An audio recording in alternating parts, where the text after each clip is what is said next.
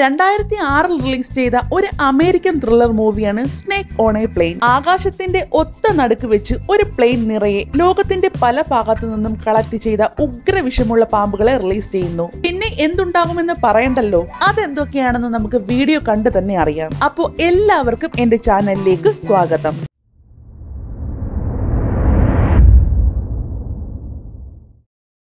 മൂവിയുടെ ആദ്യം കാണിക്കുന്നത് ഈ പടത്തിലെ ഒരു മെയിൻ ക്യാരക്ടറായ ഷോണിനെയാണ്. അവൻ ബൈക്കൊക്കെ നിർത്തി ഒന്ന് വിശ്രമിക്കാൻ ഇറങ്ങിയപ്പോഴാണ് ഒരാളെ തലകീടായി കെട്ടിത്തൂക്കിയിട്ടേക്കുന്നത് കാണുന്നത്. അപ്പോൾ തന്നെ കാറിൽ നിന്നും ഒരു ഡോൺ ഇറങ്ങി വരുന്നു.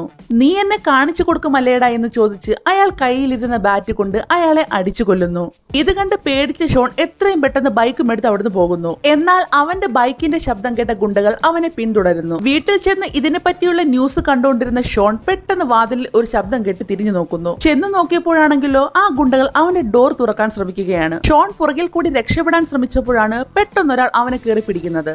അത് വേറെ ആരുമല്ല ഈ പടത്തിലെ ഹീറോ ആയ ഫ്ലിൻ ആണ്. അയാൾ ഒരു എഫ് ബി ഐ ഏജന്റ് ആണ്. അങ്ങനെ വലിയൊരു അടിപിടിക്ക് ശേഷം ഫ്ലിൻ ഷോണിനെ രക്ഷിച്ച് അയാളുടെ ഓഫീസിലേക്ക് കൊണ്ടുപോകുന്നു. ഓഫീസിലിരിക്കുന്ന ഷോണിനോട് മറ്റൊരു ഓഫീസർ നീയാണ് ഈ കൊലപാതകത്തിലെ ഏക സാക്ഷിയെന്നും അതുകൊണ്ട് നീ ഇതിന് സാക്ഷി പറയണമെന്നും പറയുന്നു. പക്ഷെ ഞാനൊന്നും കണ്ടില്ല. എനിക്കൊന്നും അറിയില്ല എന്ന് ഷോൺ പറയുമ്പോൾ അയാൾ ഒരു റെഡ് ബോൾ ക്യാൻ എടുത്ത് അവന്റെ മുന്നിലേക്ക് ഇട്ട് കൊടുക്കുന്നു. ഞങ്ങൾക്ക് ഇത് അവിടെ നിന്ന് കിട്ടിയതാണ്. ഇതിൽ മുഴുവനും നിന്റെ വിരലടയാളമാണ്. ഇത് കേട്ട ഷോൺ എന്ന് പേടിക്കുന്നു. നിനക്ക് എന്താ സാക്ഷി പറഞ്ഞാലെന്ന് ഫ്ലിൻ ചോദിക്കുന്നു. ഇത് നോക്ക് എനിക്ക് സാക്ഷി പറയാനോ അതിന്റെ പുറകെ നടക്കാനോ ഒന്നും പറ്റില്ല. മാത്രമല്ല എനിക്കിതൊക്കെ പേടിയാണ്. ഞാനാണെങ്കിൽ അടുത്ത ആഴ്ച ബാലിയിലേക്ക് ഒരു ട്രിപ്പ് പോകാനിരിക്കുകയാണ് അവിടെ ചെന്ന് എനിക്ക് അടിച്ചു പൊളിക്കാനുള്ളതാണ്. മാത്രമല്ല ഞാൻ ഈ കൊലപാതകം കണ്ടോ ഇല്ലയോ എന്നൊന്നും എനിക്ക് അത്ര ഉറപ്പൊന്നുമില്ല. അതുകൊണ്ട് എന്നെ വിട്ടേക്കെന്ന് അവൻ പറയുന്നു. ചിലപ്പോൾ നീ കണ്ടു കാണില്ല പക്ഷെ അവർ നിന്നെ കണ്ടിട്ടുണ്ട്. അതുകൊണ്ടാണ് നിന്നെ കൊല്ലാൻ ആളെ അയച്ചത്. അയാൾ പുറത്തുള്ള ഓരോ നിമിഷവും നിന്റെ ജീവന് ഭീഷണിയാണ്.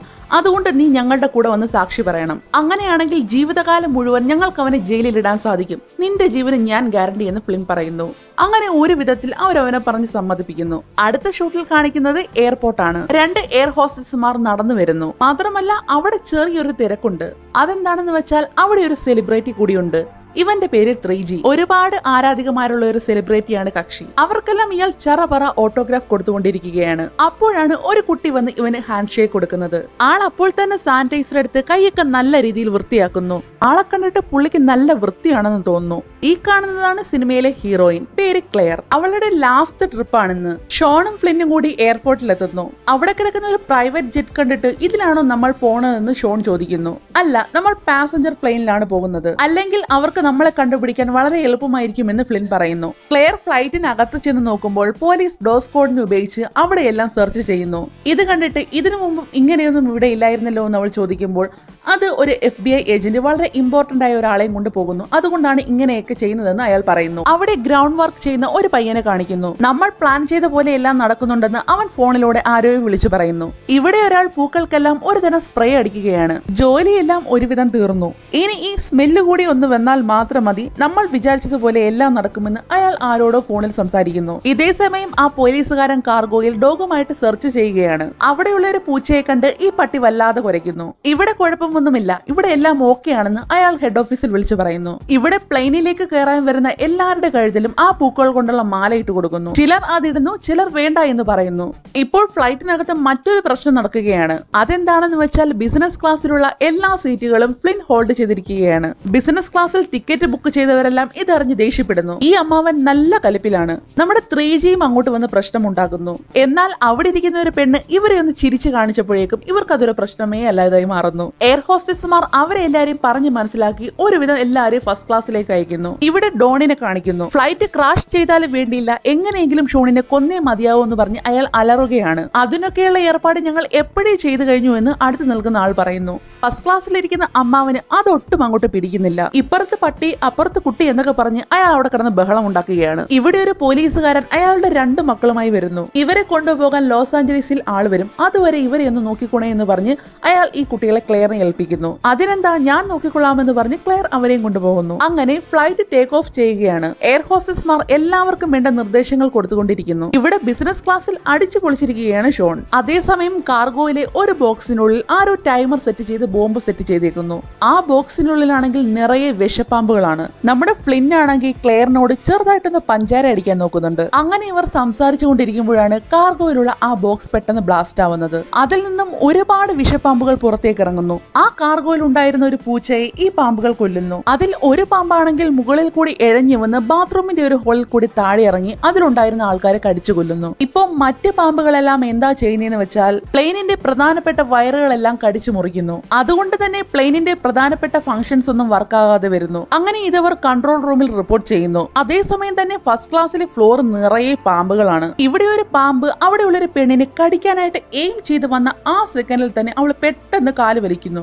ജസ്റ്റ് സെക്കൻഡിൽ അത് മിസ്സായി പോകുന്നു. ഇവിടെ ഒരാളാണെങ്കിൽ ബാത്റൂമിൽ കയറി എൻജോയ് ചെയ്ത് യൂറിൻ പാസ് ചെയ്തുകൊണ്ടിരിക്കുകയാണ്. അപ്പോഴാണ് ക്ലോസറ്റിൽ നിന്നും ഒരു പാമ്പ് കയറി വരുന്നത്. അത് അയാളുടെ മർമ്മസ്ഥാനത്ത് തന്നെ കൊത്തുന്നു. പിന്നെ അയാളുടെ കാര്യം പറയണ്ടല്ലോ. തറയിൽ എവിടെ നോക്കിയാലും പാമ്പാണ്. പക്ഷെ ഇതുവരെ ഒരു പാസഞ്ചർ പോലും അത് നോട്ടീസ് ചെയ്തിട്ടില്ല. ഇവിടെ ഒരു ആന്റി നല്ല ഉറക്കമാണ്. ഒരു പാമ്പ് പതിയെ എഴിഞ്ഞ് ആ ആന്റിയുടെ ദേഹത്തേക്ക് കയറുന്നു. നല്ല ഉറക്കമായതുകൊണ്ട് അവരൊന്നും അറിഞ്ഞിട്ടേയില്ല. നമ്മുടെ ത്രീ ജി ഈ സമയത്ത് ഒരു പെണ്ണുമായിട്ട് പഞ്ചാര അടിച്ചിരിക്കുകയാണ്. ആ പെണ്ണിന്റെ ബാഗിലേക്കും ഒരു പാമ്പ് വന്ന് കയറുന്നു. ഇത് കണ്ട അവളുടെ പട്ടി നല്ല കുരയാണ്. പട്ടിക്ക് വിശക്കുന്നുണ്ടായിരിക്കും എന്ന് പറഞ്ഞ് അവൾ അതിന് ആഹാരം എടുക്കാനായി ബാഗിലേക്ക് കൈയിടുന്നു. പക്ഷെ എന്തോ ഭാഗ്യത്തിന് ആ പാമ്പ് അവളെ ഒന്നും ചെയ്യുന്നില്ല. എന്താണ് പ്രശ്നമെന്ന് ഞാൻ നോക്കിയിട്ട് വരാമെന്ന് പറഞ്ഞ് അതിലെ ഒരു പൈലറ്റ് താഴെ കോക്ക്പിറ്റിലേക്ക് ഇറങ്ങി ചെല്ലുന്നു. അയാൾ ചെക്ക് ചെയ്തുകൊണ്ടിരിക്കുമ്പോൾ ഒരു പാമ്പ് പെട്ടെന്ന് അയാളെ കഴുത്തിലേക്ക് ചാടി വീണ് കടിക്കുന്നു. അയാൾ അപ്പോൾ തന്നെ താഴെ വീണ് മരിക്കുന്നു. അയാൾ അവിടെ ബോധമില്ലാതെ കിടക്കുന്നത് ക്ലെയർ കാണുന്നു. മറ്റേ പൈലറ്റ് പ്ലെയിൻ ഓട്ടോ മോഡിൽ ഇട്ടിട്ട് താഴെ വന്ന് ഇയാൾ നോക്കുന്നു. പക്ഷേ അയാൾക്ക് ജീവനില്ല. ഹാർട്ട് അറ്റാക്ക് ആണെന്ന് അയാൾ വിചാരിച്ചു. ഇതേ സമയം ക്ലെയർ ചെന്ന് ഫ്ലിന്നിനോട് കാര്യം പറയുന്നു. ഫ്ലിൻ താഴെ വന്ന് അയാളെ ചെക്ക് ചെയ്തിട്ട് ഇയാൾ മരിച്ചുപോയി എന്ന് പറയുന്നു. അപ്പോൾ മറ്റേ ഏജന്റ് എങ്കിൽ ഫ്ലൈറ്റ് തിരിച്ചുവിടാൻ ആവശ്യപ്പെടുന്നു. അതൊന്നും ഇനി സാധിക്കത്തില്ല. നമ്മൾ ഇപ്പോൾ തന്നെ പകുതി ദൂരം താണ്ടി കഴിഞ്ഞു. മാത്രമല്ല തിരിച്ചു പോകാനുള്ള ഫ്യൂലും ഇല്ല നമുക്ക് ലോസ് ആഞ്ചലസിൽ തന്നെ ഇറങ്ങാം എന്ന് പറഞ്ഞ് ആ പൈലറ്റ് കൺട്രോൾ റൂമിൽ ചെന്ന് ഇത് റിപ്പോർട്ട് ചെയ്യുന്നു. ഇപ്പോൾ ഈ പ്ലെയിൻ പറത്താൻ ഒരു പൈലറ്റ് മാത്രമേ ഉള്ളൂ. അതുകൊണ്ട് തന്നെ ഈ പ്ലെയിൻ ഒരു മാതിരിയാണ് പോകുന്നത്. പാസഞ്ചേഴ്സ് എല്ലാം ഇത് കണ്ട് പേടിച്ചിരിക്കുകയാണ്. എയർ ഹോസ്റ്റസ്മാർ അവരെയെല്ലാം ഒരുവിധം പറഞ്ഞ് സമാധാനിപ്പിക്കുന്നുണ്ട്. ഇതേ സമയം തന്നെ പൈലറ്റിന്റെ ക്യാബിനുള്ളിലും ഒരു പാമ്പ് വരുന്നു. ഇത് കണ്ട് പേടിച്ച് അയാൾ കയ്യിലിരിക്കുന്ന കാർബോർഡ് വെച്ച് ആ പാമ്പിനെ തലങ്ങും വിലങ്ങും അടിക്കുന്നു. അതുകൊണ്ട് തന്നെ ചില ഫംഗ്ഷൻസ് ഒക്കെ ഓണായി. പാസഞ്ചേഴ്സിന്റെ സീറ്റിന് മുകളിലുള്ള ക്യാബിനെല്ലാം തുറന്ന് ഓക്സിജൻ മാസ്ക് എല്ലാം താഴെ വീഴുന്നു. അതിന്റെ കൂട്ടത്തിൽ കുറെ പാമ്പുകളും. ആ ഗ്യാപ്പ് വഴി ഒരുപാട് പാമ്പുകൾ ഉള്ളിലേക്ക് വന്ന് അവിടെയുള്ള പാസഞ്ചേഴ്സിനെ എല്ലാം ചറപ്പറ കൊത്തുന്നു. ശബ്ദം കേട്ട് ഫ്ലിൻ താഴേക്ക് പോകാൻ വന്നപ്പോൾ വേണ്ട ഞാൻ പോയി നോക്കാമെന്ന് പറഞ്ഞ് മറ്റേ ഏജന്റ് താഴേക്ക് വരുന്നു. താഴെ വന്ന് നോക്കുന്ന അയാൾ കാണുന്നത് ഫ്ലോർ നിറയെ പാമ്പുകളാണ്. പെട്ടെന്ന് ഫ്ലൈറ്റ് ഒന്ന് ഷേക്ക് ചെയ്യുന്നു. അയാൾ പെട്ടെന്ന് പടിയിൽ നിന്നും താഴെ ഫ്ലോറിലേക്ക് വീഴുന്നു. പെട്ടെന്ന് ഒരു പാമ്പ് വന്ന് ഇയാളെ കടിക്കുന്നു. ഇത് കണ്ടുകൊണ്ടുവന്ന ഫ്ലിൻ കയ്യിലുള്ള ഡിവൈസ് ഉപയോഗിച്ച് പാമ്പുകൾക്കെല്ലാം ഷോക്ക് ഏൽപ്പിച്ച് അവിടെ നിന്ന് മൂട്ടിക്കുന്നു. ഫസ്റ്റ് ഫ്ലോറിലേക്ക് നോക്കുന്ന ഫ്ലിൻ കാണുന്നത് അവിടെ തറയിൽ നിറയെ പാമ്പുകളെയാണ്. മാത്രമല്ല പാമ്പുകളുടെ കടയിൽ നിന്നും രക്ഷപ്പെടാൻ പാസഞ്ചേഴ്സ് തലങ്ങ് വിലങ്ങ് മൂടുകയാണ്. അവിടെ വലിയൊരു യുദ്ധം തന്നെ നടക്കുന്നു. ഇതേ സമയം ബാത്റൂമിലേക്ക് ഓടിക്കയറാൻ വന്ന വൃദ്ധയെ ഒട്ടും മനസാക്ഷിയില്ലാതെ ത്രീജി പിടിച്ചു തള്ളിയിട്ട് അവൻ അതിലേക്ക് കയറാൻ നോക്കുന്നു. പക്ഷെ കഥവ് തുറന്നതും അതിനുള്ളിൽ നേരത്തെ മരിച്ചു കിടക്കുന്ന രണ്ടുപേരുടെ ബോഡി ഇവന്റെ ദേഹത്തേക്ക് വന്ന് വീഴുന്നു. ഒരുവിധം അതിന്റെ ഇടയിൽ നിന്നും രക്ഷപ്പെട്ട് അവൻ കയറി വരുന്നു. ത്രീജിയുടെ രണ്ട് തടിയും ബോഡി ഗാർഡ്സ് അവനെയും രക്ഷിച്ചുകൊണ്ട് അവിടുന്ന് പോവുകയാണ്. അപ്പോൾ ആ കൂട്ടത്തിലുള്ള ഒരു തടിയന്റെ ഡിക്കിയിൽ തടി ഒരു പാമ്പ് കടിക്കുന്നു. അവിടെ ഉണ്ടായിരുന്ന ആ രണ്ട് കൊച്ചു കുട്ടികൾ പേടിച്ചൊരിടത്ത് ഒളിച്ചിരിക്കുന്നു. പക്ഷേ അവിടേക്ക് ഒരു പാമ്പ് എഴഞ്ഞു വന്ന് അതിലുള്ള ഇളയ കുട്ടിയുടെ കയ്യിൽ കൊത്തുന്നു. അങ്ങനെ ഒരുപാട് മരണങ്ങൾ ആ ഫ്ലൈറ്റിൽ നടക്കുന്നു. ഫ്ലിൻ പെട്ടെന്ന് വന്ന് എല്ലാവരോടും കമ്പാർട്ട്മെന്റിന്റെ മുന്നിലേക്ക് പോകാൻ പറയുന്നു. ഉള്ള ലഗേജ് എല്ലാം വെച്ച് പാമ്പിനും നമ്മൾക്കുമിടയിൽ ഒരു ബാരിയർ പോലെ ഉണ്ടാക്കാമെന്ന് അവൻ പ്ലാൻ ചെയ്യുന്നു. അങ്ങനെ അവർ ബാഗുകളെല്ലാം അടക്കി ബാരിയർ പോലെ ഉണ്ടാക്കുന്നു. ആ പട്ടിയും കൊണ്ടുവന്ന പെണ്ണ് അവിടെ ബോധം കെട്ട് കിടക്കുകയാണ്. ആ പട്ടിക്കുട്ടി അവളെ ഉണർത്താൻ നോക്കുന്നുണ്ട്. അങ്ങനെ ബോധം വരുന്ന അവൾ കാണുന്നത് ചുറ്റിനും കുറെ ഡെഡ് ബോഡികളാണ് മാത്രമല്ല കുറെ പാമ്പുകൾ അവളെ കൊത്താനും വരുന്നു. ഒരു പാമ്പാണെങ്കിൽ അവളുടെ മുഖത്തിന് നേരെ കടിക്കാൻ വന്നതും ഒരാൾ വന്ന് ആ പാമ്പിനെ എടുത്തെറിഞ്ഞിട്ട് അവളെ രക്ഷിക്കുന്നു. ഇപ്പോൾ ആ ക്യാബിനിൽ ഒരു സൈഡിൽ നിറയെ പാസഞ്ചേഴ്സും മറ്റേ സൈഡിൽ നിറയെ പാമ്പുകളുമാണ്. ക്ലെയർ ആണെങ്കിൽ ആ രണ്ട് കൊച്ചു കുട്ടികളെയും അന്വേഷിച്ചു നടക്കുകയാണ്. ഇതേ കമ്പാർട്ട്മെന്റിന്റെ തൊട്ട് ബാക്കിൽ നിന്ന് അവരെ കണ്ടെത്തുന്നു. മോനൊന്നും സംഭവിക്കില്ല. ഞാൻ നോക്കിക്കൊള്ളാമെന്ന് പറഞ്ഞ് ക്ലെയർ അവരെ സമാധാനിപ്പിക്കുന്നു. അതേസമയം ഗ്രേസ് എന്ന് പറഞ്ഞ എയർ ഹോസ്റ്റസ് അവിടെ ഇതെല്ലാം അടുക്കി വെച്ചുകൊണ്ടിരിക്കുന്ന സമയത്ത് ഉള്ളിൽ നിന്നും ഒരു കുഞ്ഞിന്റെ കരച്ചിൽ കേൾക്കുന്നു. അങ്ങനെ ലഗേജ് എല്ലാം തള്ളിയിട്ട് അകത്ത് ചെന്ന് നോക്കുമ്പോൾ ആ കുഞ്ഞിന്റെ അമ്മ മാത്രമേ അവിടെ ഉള്ളൂ. കുഞ്ഞിനെ കാണുന്നില്ല.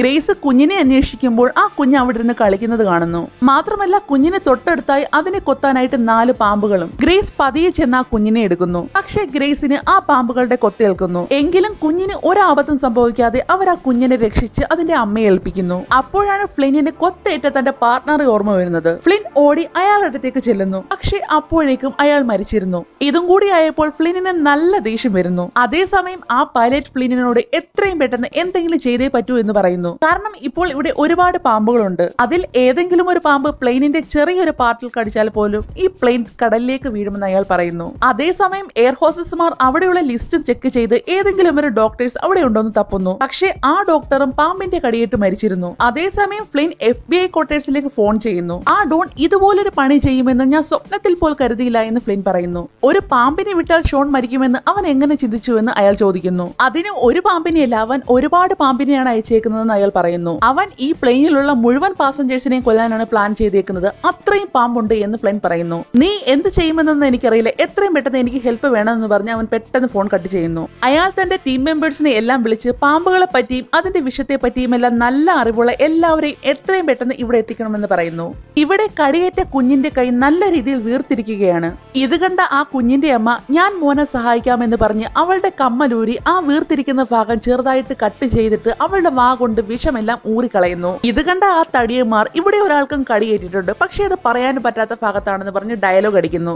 ചാകാൻ പോകുമ്പോഴും കോമഡിക്ക് മാത്രം ഒരു കുറവുമില്ല. ഇതേ സമയം ഷോൺ തനിക്കും താഴെ ചെന്ന് ആൾക്കാരെ സഹായിക്കണമെന്ന് ഫ്ലിനോട് പറയുന്നു. ഇപ്പോൾ നിന്നെ താഴേക്ക് വിടാൻ പറ്റില്ല.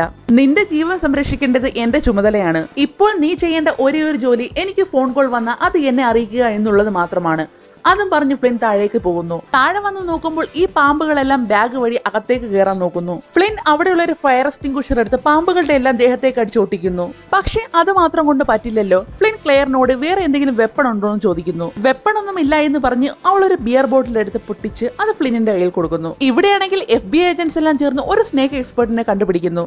നിങ്ങൾ എന്തിനാണ് എന്നെ ഇങ്ങനെ പൊക്കിക്കൊണ്ട് പോകുന്നതെന്ന് അയാൾ ചോദിക്കുന്നു. ഇത് നോക്ക് ആദ്യം എന്തൊക്കെ തരം പാമ്പുകൾ ആ പ്ലെയിനിൽ പ്ലെയിനിലുണ്ടെന്ന് എനിക്കറിയണം. എങ്കിൽ മാത്രമേ എനിക്ക് എന്തെങ്കിലും ചെയ്യാൻ സാധിക്കൂ. ഫ്ലിൻ ആ ഡോക്ടറുമായിട്ട് സംസാരിക്കുകയാണ്. ഇത് നോക്ക് സാർ ചില പാമ്പുകൾ കടിച്ചാൽ രണ്ട് മിനിറ്റിനുള്ളിൽ മരിക്കും. ചിലത് കടിച്ചാൽ രണ്ട് മണിക്കൂറെങ്കിലും എടുക്കും. ചിലത് കടിച്ചാൽ നമ്മളൊന്ന് ഉറങ്ങിയാൽ മതി അപ്പോൾ തന്നെ മരിക്കും. അതൊന്നും നോക്കി പറയാനുള്ള സമയം എനിക്ക് ഇപ്പോഴില്ല.